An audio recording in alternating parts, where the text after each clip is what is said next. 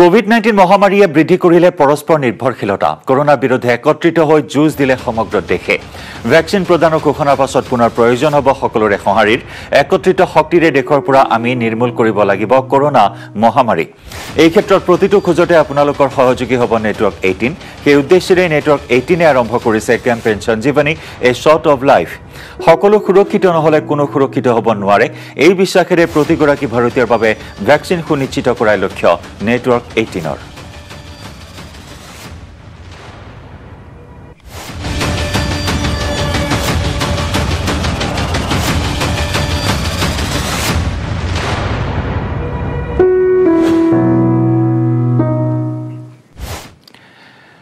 দিল্লীৰ কৃষক বিদ্ৰোহৰ সমৰ্থন জনাইছে অসমৰ একাংশ কৃষক আৰু সচেতন ব্যক্তিয়ে।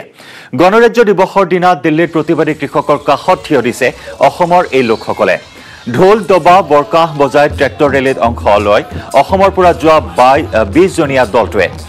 শ্বাহজাহানপুৰৰ পৰা দিল্লীলৈ প্ৰতিবাদত অংশ লৈ মোদী চৰকাৰৰ নতুন কৃষি আইনৰ বিৰোধিতা কৰে অসমৰ কৃষকসকলে।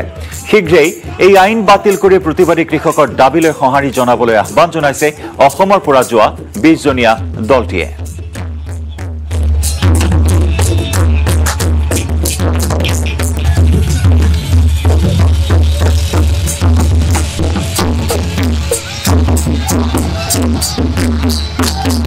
মূৰত জাপি গামোচা লৈ ঢোল বজাই দবা বজাই প্ৰতিবাদ সাব্যস্ত কৰিছে অসমৰ পৰা যোৱা বিছজনীয়া দলটিয়ে।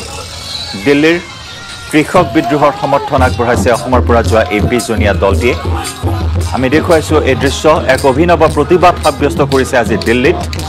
আৰু অসমৰ পৰা যোৱা এই বিছজনীয়া দলটিয়ে সহযোগিতা আগবঢ়াইছে দিল্লীৰ কৃষক বিদ্ৰোহলৈ। গণৰাজ্য দিৱসৰ দিনা দিল্লীত প্ৰতিবাদী কৃষকৰ কাষত থিয় হৈছে অসমৰ পৰা যোৱা এই লোকসকল। ঢোল দবা বৰকাহ বজাই ট্ৰেক্টৰ ৰেলীত অংশ লৈছে অসমৰ পৰা যোৱা এই বিছজনীয়া দলটিয়ে। এয়া ট্ৰেক্টৰত মূৰত জাপি গামোচা লৈ ঢোল দবা বৰকাহ বজাই সাব্যস্ত কৰিছে প্ৰতিবাদ। শ্বাহজাহানপুৰৰ পৰা দিল্লীলৈ প্ৰতিবাদত অংশ লৈছে মোদী চৰকাৰৰ নতুন কৃষি আইনৰ বিৰোধিতা কৰিছে অসমৰ পৰা যোৱা কৃষকসকলেও আৰু শীঘ্ৰেই এই আইন বাতিল কৰি প্ৰতিবাদী কৃষকৰ দাবীলৈ সঁহাৰি জনাবলৈ আহ্বান জনাইছে এই দলটিয়ে। আদানী আম্বানী লেখীয়া ধনিক দালাল পুঁজিপতিক কেৱল পথাৰখন গতাই দিব খেতিয়কৰ ভাগ্য গতাই দিব। গতিকে এই ধৰণৰ আইন তিনিখন আনিছে য'ত কৃষকৰ অধিকাৰ খৰ্ব হৈছে। গতিকে আমি আমি এই আইন তিন- তিনিখনৰ তীব্ৰ বিৰোধ কৰাই নহয় শীঘ্ৰে বাতিল কৰাৰ দাবী উত্থাপনত দিল্লীত যি দুমহীয়া কৃষকৰ মহা ঐতিহাসিক বিদ্ৰোহ আৰম্ভ হৈছে ইয়াত আমি হৈছোঁ। তেওঁলোকৰ লগত আমি সংহতি প্ৰকাশ কৰিছোঁ তেওঁলোকৰ আমি হাতত হাত থৈছোঁ আৰু আজি দুখন গণৰাজ্য দিৱসৰ যিখন উৎসৱ য'ত প্ৰজাৰ কৃষকৰ গণৰাজ্য দিৱস উদযাপনৰ ট্ৰেক্টৰ পেৰেড আছে ইয়াত আমি সহযোগ কৰিছোঁ অসমৰ এটা কৃষকৰ দলে। ভাৰতবৰ্ষৰ এই মহাসংগ্ৰামত কৃষক বিদ্ৰোহৰ ওচৰত নৰেন্দ্ৰ দামোদৰ দাস মোদী আৰু অমিত শ্বাহে আজি আত্মসমৰ্পণ কৰিব লাগে। দিল্লীৰ দৰবাৰত ভাৰতৰ সমগ্ৰ ৰাজ্যৰ পৰা অহা কৃষকে আজি এই কথা প্ৰমাণ কৰি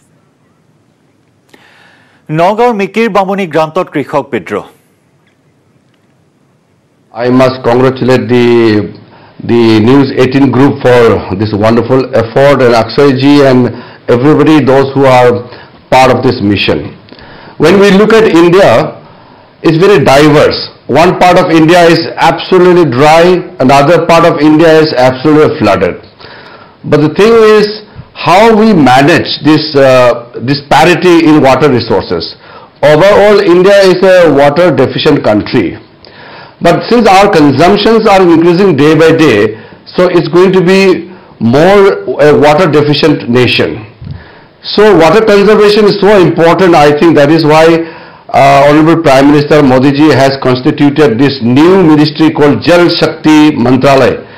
Jal Shakti only because unless we focus on the water conservation in a very concentrated and focused manner, we won't be able to deal with this uh, challenge which we are going to face. Right now, India has around uh, $2,000 per capita income. even if we double that income to 4,000, so water consumption also will increase along with the living standards, along with the increase in economic activities and all. So the coming days are going to be very, very challenging.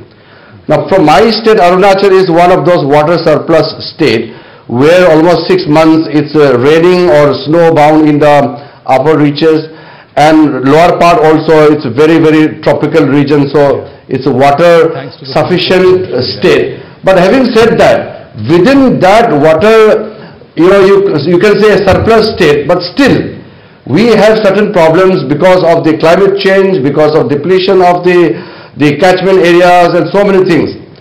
So in my ministry, I have around 75 lakhs youth force, that is the largest in the world.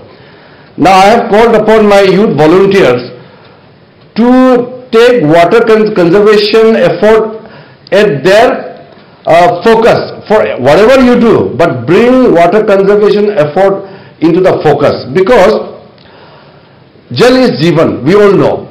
Unless we sensitize the people in the basic conservation of water to how to utilize it optimum, do not waste water.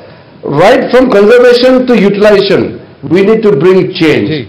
I think that is what Prime Minister has launched this uh, Jal Jeevan uh, mission as well as uh, Atal Jal the Yojana Yes. to reach out to every household uh, with a water tap.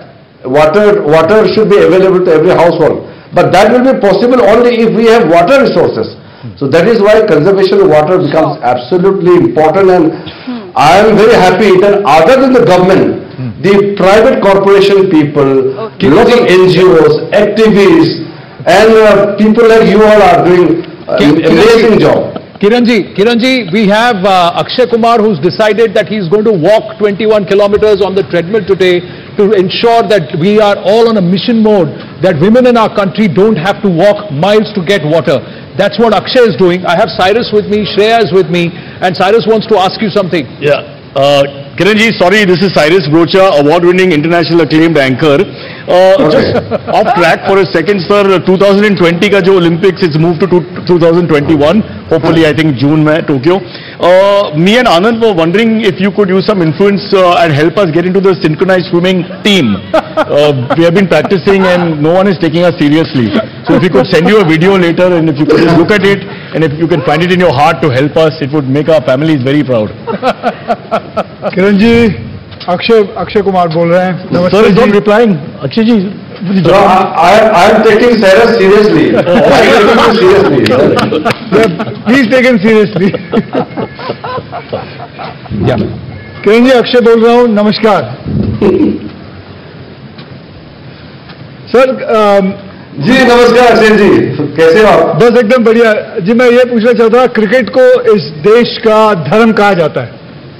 क्या आपको लगता है कि cricket खिलाड़ियाँ और दूसरे sports के। Faces को सोशल चेंज के ब्रांड एम्बेसडर बनाया जा सकता है?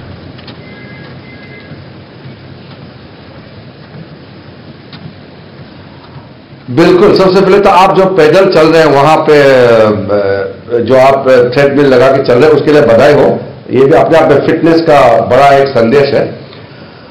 अ, क्रिकेट बिल्कुल हमारे देश में सबसे पॉपुलर स्पोर्ट्स है। बट मैं जो कोशिश कर रहा हूँ क्रिकेट के अलावा जो बाकी स्पोर्ट्स है जो ओलंपिक स्पोर्ट्स है जो पूरा दुनिया खेलता है ऐसा जो खेल है उसको भी मैं प्रमोट कर रहा हूँ। तो सारा खिलाड़ियों को चाहे वो क्रिकेटर हो चाहे अन्य देसी खिलाड़ी हो जो पारंपरिक भारतीय खेल के खिलाड़ी हो जैसे कबड्डी खो खो मलखम तंगथा कलमपट्टू या गटका इस तरह के। जितने भी जो खिलाड़ी है वो इन्फ्लुएंसर बन सकते हैं।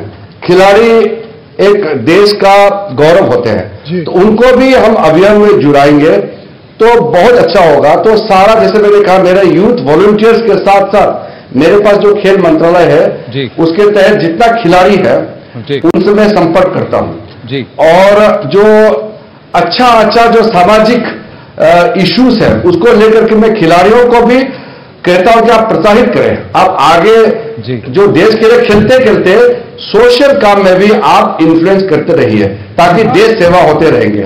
तो मैं चाहता हूँ कि भारत खेल महाशक्ति बने और साथ साथ खिलाड़ी मेडल जीतने के साथ साथ और अच्छे कामों में भी आए देश के लिए इसका मेरा हमेशा से एक प्रायोरिटी रहा है। मिस्टर रिजिजू हमसे जुड़ने के लिए बहुत बहुत धन्यवाद। Thank you very thank much you for your thank you very much for your time on this very how can special I contact later अगर वो वो मैं आपको बताऊँगी। आप मेरे साथ चलना है। दिल्ली अपना कोविड टेस्ट कराने के। बाद। We are slipping in thank you mister Rijiju for joining us we are slipping into a very quick break here on mission Paani there is lots lined up so do stay with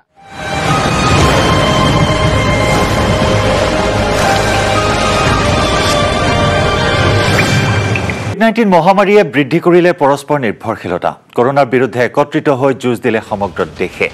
vaccine প্ৰদানৰ ঘোষণাৰ পাছত পুনৰ প্ৰয়োজন হ'ব সকলোৰে সঁহাৰিৰ। একত্ৰিত শক্তিৰে দেশৰ পৰা আমি নিৰ্মূল কৰিব লাগিব কৰোণা মহামাৰী। এই ক্ষেত্ৰত প্ৰতিটো খোজতে আপোনালোকৰ সহযোগী হ'ব নেটৱৰ্ক এইটিন। সেই উদ্দেশ্যেৰে নেটৱৰ্ক এইটিনে আৰম্ভ কৰিছে campaign Sanjeevani a shot of life সকলো সুৰক্ষিত নহ'লে কোনো সুৰক্ষিত হ'ব নোৱাৰে। এই বিশ্বাসেৰে প্ৰতিগৰাকী ভাৰতীয়ৰ বাবে ভেকচিন সুনিশ্চিত কৰাই লক্ষ্য নেটৱৰ্ক এইটিনৰ।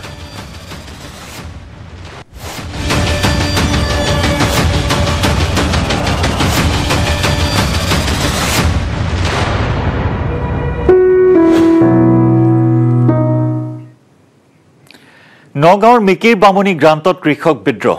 ৰায়তী খতিয়ান প্ৰাপ্ত কৃষকক উচ্ছেদক লৈ বিক্ষোভ। পাৱাৰ প্লাণ্ট স্থাপনৰ বাবে কৰা উচ্ছেদৰ বিৰোধিতা। আজিৰে পৰা অবিৰতভাৱে চলিব এই বিক্ষোভ কাৰ্যসূচী।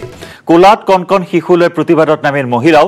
দিল্লী লাইকা দধিয়াৰ দৰে প্ৰতিবাদৰ হুংকাৰ।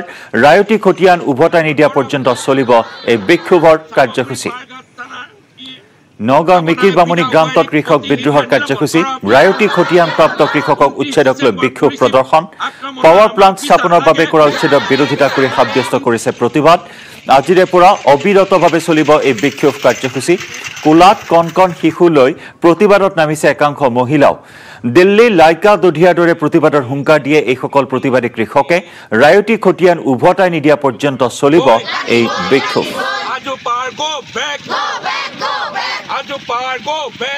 আমাৰ ৰাইটি খতিয়ান থকা কৃষিভূমি আজি আমাৰ পৰা কাহিনী পেলাই বহিৰাগত কোম্পানী আজোৰ পাহাৰ দিছে ইয়াৰ প্ৰতিবাদত আৰু এই কৃষিভূমি আমাক ঘূৰাই দিয়াৰ দাবীত আজি আমি এই অৱস্থান ধৰ্মঘট কৰিবলগীয়া হৈছে। আজি অসমীয়া মানুহৰ ভূমি কৃষিভূমি কাহিনী আজি বহিৰাগত বনিয়াক গতাই দিছে। গতিকে আজি আমি এই গণৰাজ্য দিৱসত আজি সৰ্বানন্দ সোণোৱালক আমি জনাই দিব বিচাৰিছোঁ যে সেই সৰ্বানন্দ সোণোৱাল আজি আমাৰ যি এই কৃষিভূমি। আজি এই কৃষিভূমি কৃষকক দিয়ক আৰু কৃষক থাকিলেহে জাতি থাকিব আৰু মাটি থাকিলেহে। কাৰণ তুমি যদি সঁচাই অসমীয়া জাতিক ভাল পোৱা তেন্তে অসমীয়া মানুহৰ মাটি আজি কাহিনী বহিৰাগত কোম্পানীক দিয়া কাৰবাৰ বন্ধ কৰা। নগাঁৱৰ সকলো সমষ্টি হ'ব খিলঞ্জীয়াৰ বাবে সুৰক্ষিত। কঠোৰভাৱে প্ৰযোজ্য কৰা হ'ব জনসংখ্যা আইন। অহাবাৰ চৰকাৰ গঠনৰ পিছতে ব্যৱস্থা ল'ব চৰকাৰে। ইয়াৰ পিছত নিৰ্বাচনসমূহ অনুষ্ঠিত হ'ব পুনৰ গঠিত সমষ্টিত। নগাঁৱত পতাকা উত্তোলন কৰি এই মন্তব্য মন্ত্ৰী ডক্টৰ হিমন্ত বিশ্ব শৰ্মাৰ।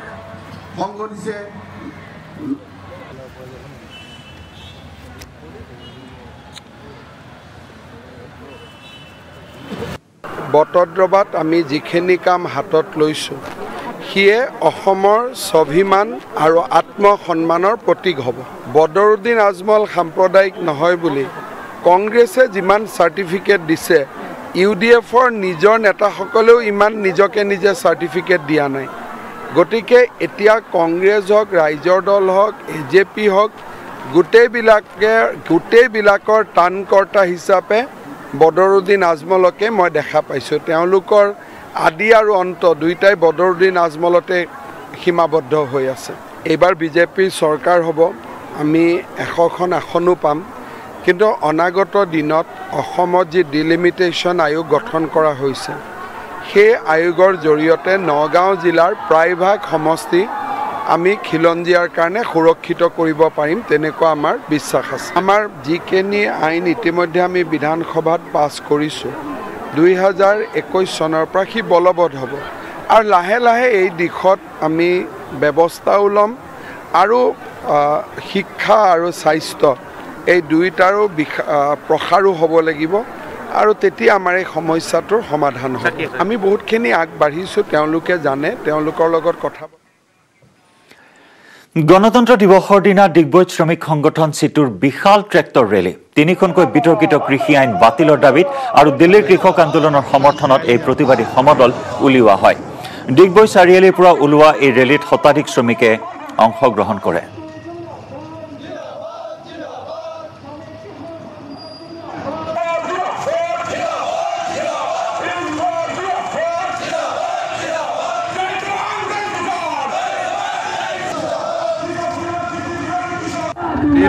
কৃষকে যিটো আজি ট্ৰেক্টৰ পেৰেড কৰিছে তাৰ লগত সংগতি ৰাখি কৃষক আন্দোলনৰ প্ৰতি আমি সমৰ্থন জনাই ডিগবৈ চি আই টোৱে আজি এই শোভাযাত্ৰা উলিয়াইছোঁ।